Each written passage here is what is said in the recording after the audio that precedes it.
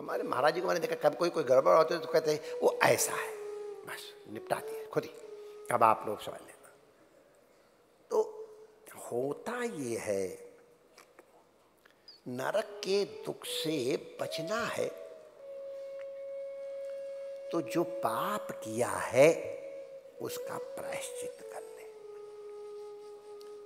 बड़े पाप का बड़ा प्रायश्चित, छोटे पाप का छोटा।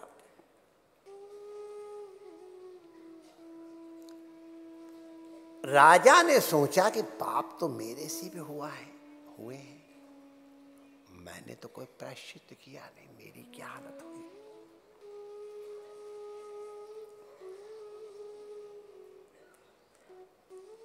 अच्छा कई पाप हम उनका प्रायश्चित नहीं कर पाए तो उनके फल की दुर्गति हमको भोगनी पड़ेगी।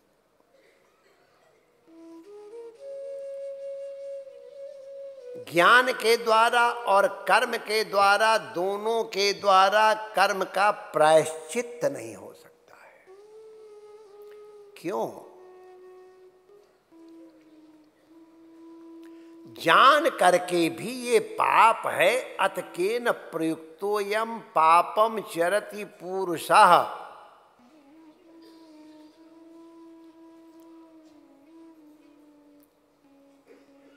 अर्जुन कहते, जान पूज करता है। बला दिव नियोजिता। हमको मालूम ये पाप है और कर रहे हैं और मैं प्रायश्चित किया। लेकिन पाप करने की प्रवृत्ति का नाश नहीं हुआ। प्रायश्चित करने से पाप करने की प्रवृत्ति का नाश नहीं होता इसलिए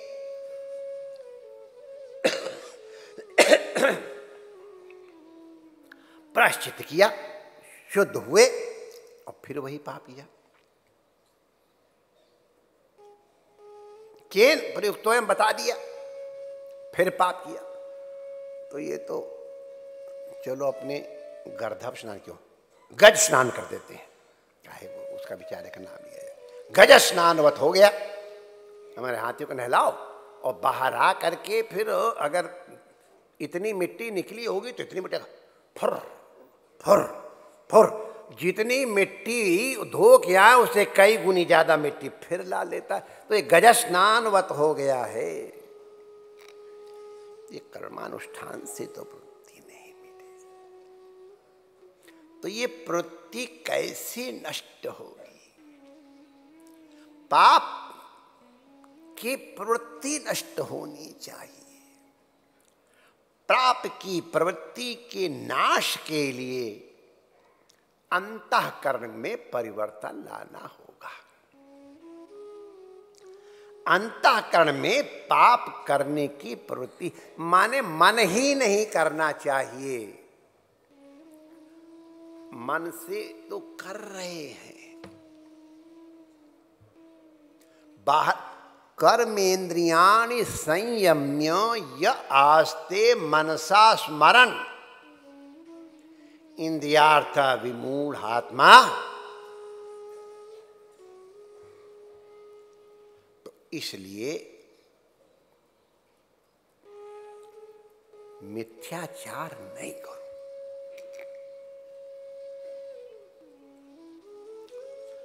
मन की प्रवृत्ति बोलो। तो उसके लिए कहा है कि नरक से बचने का मार्ग है। भगवान के चरणार बिंद में अपने मन को लगा दो। भगवान के चरणार बिंद में मन लगाने के लिए बताया गया यहाँ नाम श्रवण नाम कीर्तन और नाम स्मरण नाम में जीव का बल नहीं है, भगवान का बल है।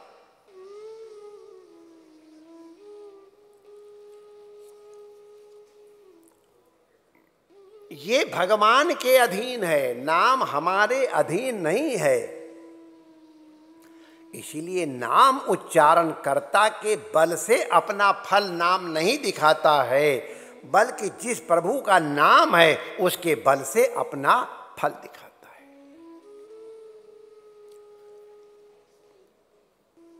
विष्णु पुराण का मंत्र श्लोक है। नामनी यावती शक्ति पाप निर्बरहणे हरे हरे नामनी ये दोष है उसके कारण हो रहा है। भगवान के नाम में कितनी शक्ति है। पाप को जलाने की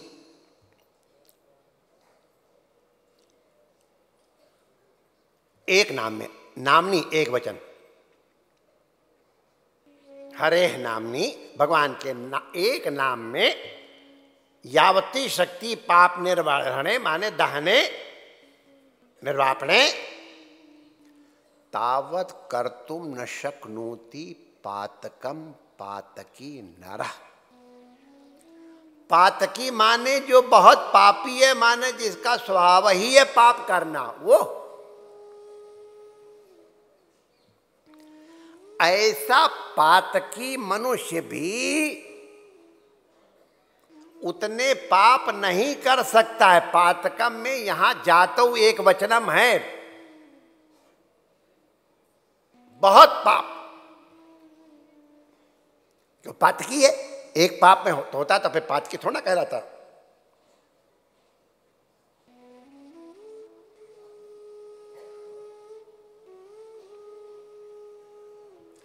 तो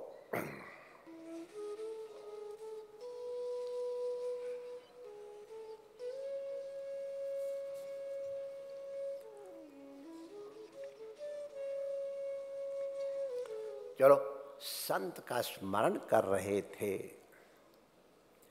उस संत का संदेश आया है तो हम लोग शेयर कर लेते हैं। पूज्य रामदेव बाबा का हमारे संग बड़ा स्नेह है। अपना वो कार्यक्रम पूरा करके वहाँ से वो चल दिए थे हेलीकॉप्टर से। रास्ते में पुराली वगैरह जुड़ाई के कारण विजिबिलिटी गड़बड़ा गई।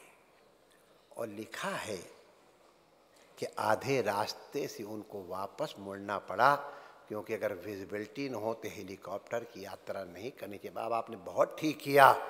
रिस्क नहीं लेनी चाहिए। आप तो मेरे पास बैठे ही हो। आपका प्रेम, आप वहाँ से चले। हमारे कई संत हैं, स्वास्थ्य इत्यादि के कारण नहीं आ पाए। अब तक नहीं आ पाए या इसके पहले ने वो सबके सब बाध्य थे। शरीर आदि के कारण तो हम आप सबकी तरफ़ से बाबा को प्रणाम करें आप सब उनको प्रणाम कर सको, इसलिए मैंने सूचना दी, वरना मैं काहे को सूचना देता? ऐसे आती रहती है। तो हम सब लोग उनका वंदन करते हैं। बेचारे आधे रास्ते से लौट गए। पीड़ा तो उनको भी हुई होगी। तो प्यार से आ रहे थे? और नहीं आ पाए तो तो हम उनकी पीड़ा को शेयर करते हैं और आप सबकी तरफ़ से भी और अपनी तरफ़ से उनका वंदन, अभिनंदन करते हैं। हम आपके प्रेम के साथ।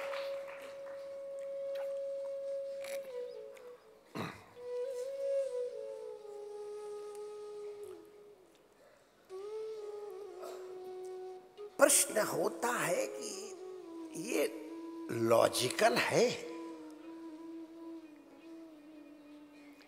आदमी पाप करे, दुनिया भर के। और एक हरि का नाम लिया, हरे नमः, बस, सारे पाप खत्म। प्रमाण कैसे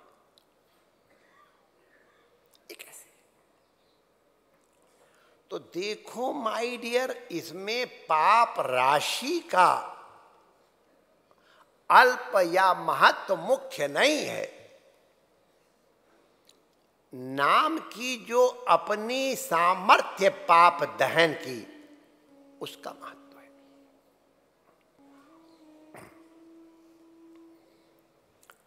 रुई सौ ग्राम है, या सौ क्विंटल है इसका कोई महत्व नहीं है। आग की एक चिंगारी सौ ग्राम रुई को भी भस्म कर देगी और सौ क्विंटल रुई को भी भस्म कर देगी, करोड़ क्विंटल को भी भस्म कर देगी।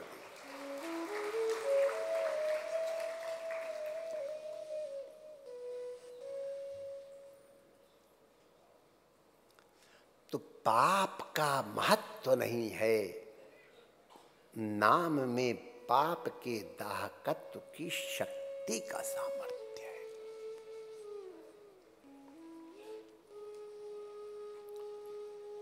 हरि के नाम में इतनी सामर्थ्य है।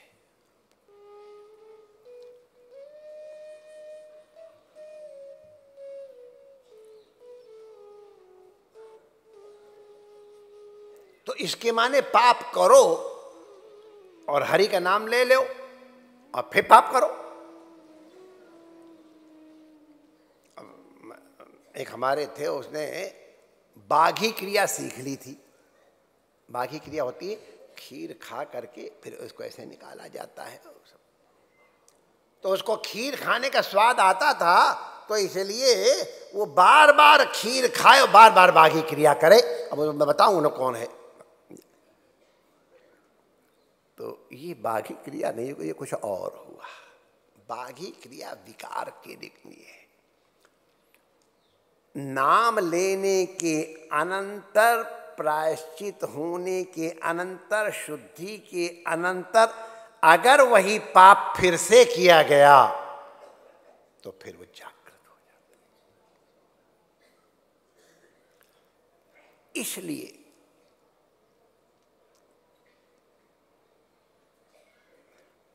पाप नाश करने के अनंतर वो पाप न करे और पाप की प्रवृत्ति का भी नाश कर दे।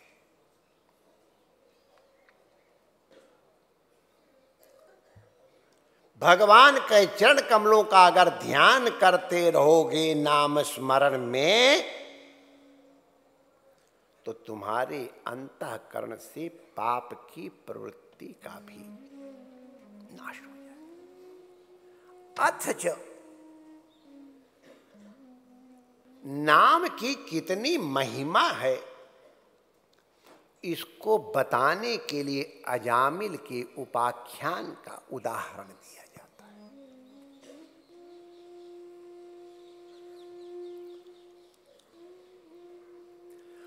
अजामिल त्रिकाल संध्या करने वाला कान्य कुछ ब्राह्मण है, विद्वान है।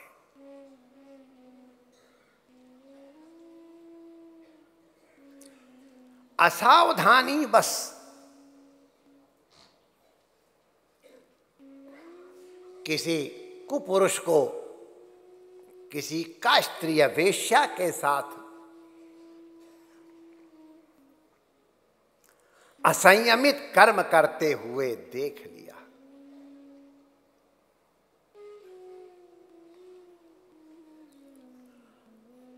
उस वेश्या के अंग बड़े आकर्षक। वाल्मीकि अजय अजामिल को सावधान हो जाना चाहिए था। उस आकर्षण से, लेकिन ये अजामिल का प्रमाद हो गया। देखिए, आकर्षण ही इस तरह का होता है। बलात् आकर्षित करते हैं, और इसीलिए उतना ही बल उसको विकर्षित करने के लिए चाहिए। हमको अपने मन के ऊपर इतनी दृढ़ता चाहिए कि वो विकार हमको अपनी ओर खींच न पाए। अगर खींच ले गए तो माई डियर, क्या होता हम अजामिल का जीवन देखें? हमारे संत कहते थे, पूज्य हरमिलापी जी, देखो पर तको मत।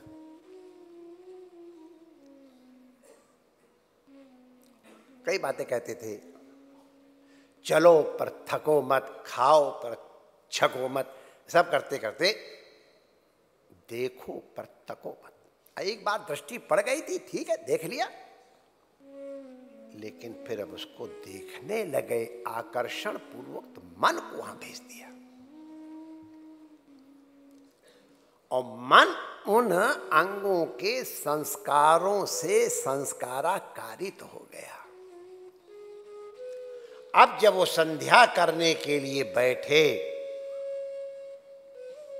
तो प्रातःकालीन सावित्री का ध्यान नहीं आ रहा था। उसको उस विषया के अंगों का ध्यान आ रहा था।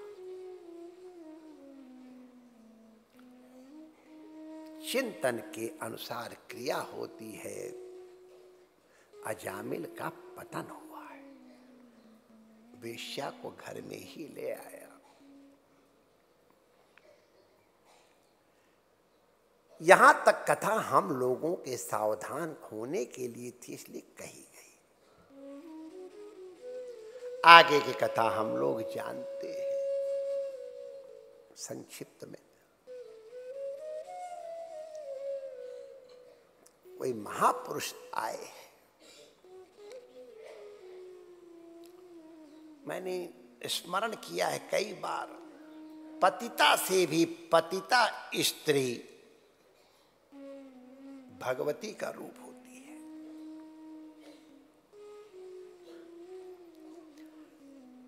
वैसे हमारे यहाँ जो मंगल के चिन्ह हैं, उसमें वेश्या को भी मंगल का, उसका मंगलामुखी कहा जाता है क्योंकि समाज की अमंगल की हुई कुकृतियों को वो आत्मसात करके समाज को पवित्र रखती है। पहले हमारे यहाँ उनका भी सम्मान था। वैशाली की नगर वधु का हम लोग स्मरण करते हैं। उनको नगर वधु कहा जाता था। तो वो यद्यपि इस तरह की थी अजामिल। कई संतानें भी हो गई थी, फिर अंतर्वर्तनी थी। लेकिन संत आए, उनको देख करके उसका मातृत्व पिघल गया, उन्हें संतों को प्रेम से भोजन कराया, और सबको बड़े प्रेम से। हमारे संत बड़े मज़ाक कहते हैं कि अजामिल नहीं था, खिलाया पिलाया, संतों ढाल करके और जब संतों के बारे से किसी ने पूछा होगा संतों में अरे यहाँ कोई ब्राह्मण का कोई घर है क्या? यही पूछते संत, यहाँ कोई ब्राह्मण कर भिक्षा कर ले तो लड़के तो अच्छे होते ही हैं। हाँ बाबा, यहाँ बड़े भारी पंडित जी का घर है। अजाबिल पंडित जी का वहीं भेज दिया था। और बेचारे संत आ गए थे। अब पहुँच गए थे, भोजन किया तो उनको पता तो चल गया कि कितने बड़े पंडित का घर है, लेकिन अब घर तो लिया ही था। अजामिल आए तो उसकी दृष्टि अपने आप ही अच्छी थी।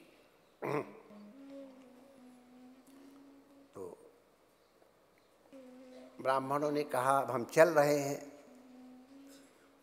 ठीक है। हमें कुछ दक्षिणा चाहिए।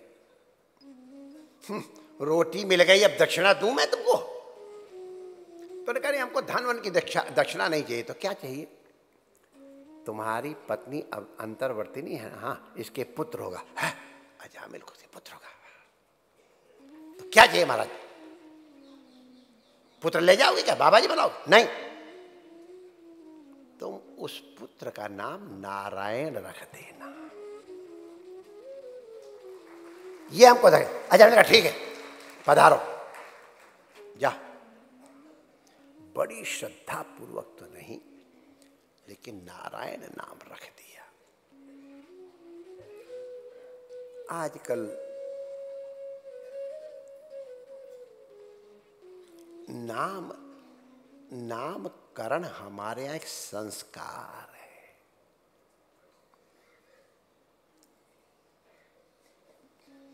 नामकरण के पीछे पूरा समग्र शास्त्र है।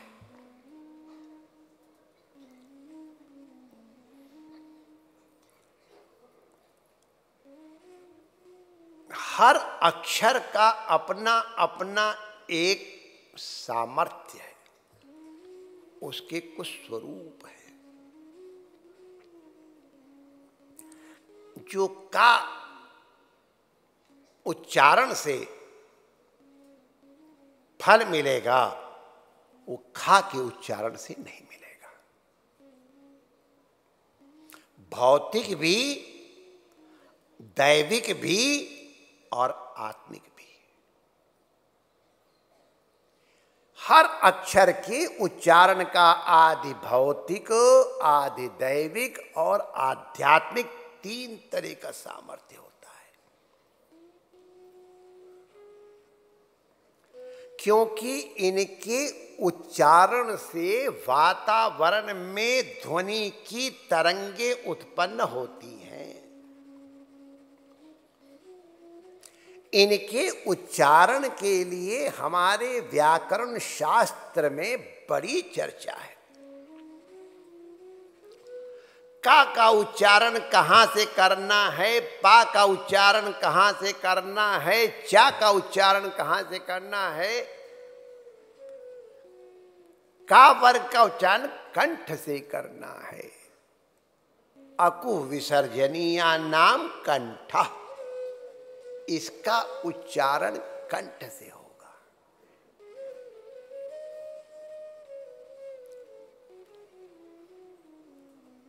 इचुषानाम तालु रेटुरसानाम मूर्धा लितुलसानाम दंता यहाँ यहाँ स्पर्श करा करके ये ये अक्षरों का उच्चारण करना है।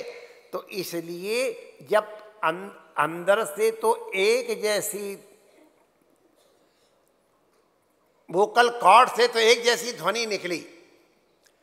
लेकिन जैसे यहाँ टुन टुन टुन टुन करते हैं और तार में हाथ ऐसे ऐसे करते हैं तो उसमें स्वर का भेद आ जाता है।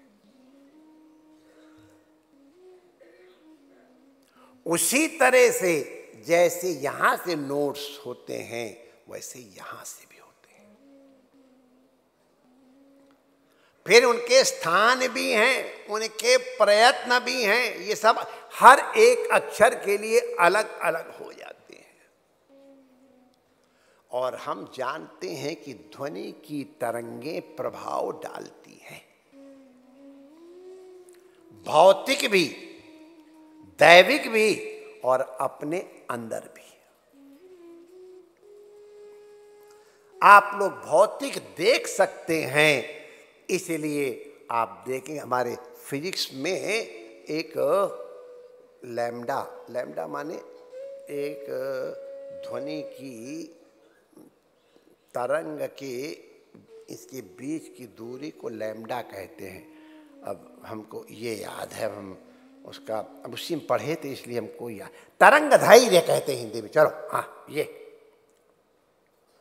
तो उसकी नाप के लिए एक परीक्षा की जाती कुंस ट्यूब की। एक ट्यूब होती है, उसके अंदर लाइकोपोडियम पाउडर डाल दिया जाता है। इधर की तरफ़ से कुछ करके ध्वनि उत्पन्न की जाती, उस ध्वनि को उत्पन्न करने से ध्वनि की तरंगे आती, ऐसे ऐसे करके। तो जहाँ तरंग स्पर्श कर रही पाउडर को, वहाँ से पाउडर हट जाएगा और जहाँ ऊपर है, वहाँ इकट्ठा हो जाएगा। तो ऐसे ऐसे करके करके और वो छोटी छोटी वो बन जाते हैं पिंड जैसे। आप लोग वैसे भी कैसे क्या करो तो कभी देखा होगा, ऐसे छोटे छोटे बन जाते हैं। यहाँ ध्वनि है और उसका ये प्रभाव है।